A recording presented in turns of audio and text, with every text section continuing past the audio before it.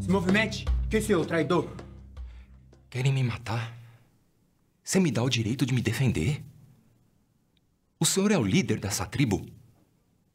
E vai conseguir me retribuir quando ficar sabendo do meu feito. Eu não sou um traidor.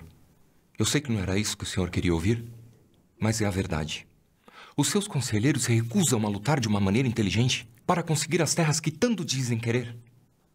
Eu fui atrás da minha maneira e consegui tudo do meu jeito que vocês não conseguiram. Calma, calma. Espere, deixa eu terminar. O senhor conhece a bela filha do governador de Hebron? Não. Do Hanassum? Eu a conheci quando eu estava cavalgando em uma das minhas missões de espionagem. E acabei livrando ela de uma besta fera. E ela acabou se apaixonando primeiramente por Zeus, depois por mim. Essa é a questão, senhor. Agora eu tenho livre acesso ao palácio de Hebron. É.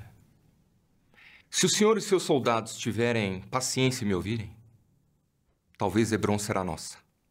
Caso contrário, se atacarmos a cidade agora, todos morrerão. Não falo isso para assustá-los, e sim porque será um massacre. Confie em mim. E terás o governador como seu aliado, e eu direi a hora certa de atacarmos.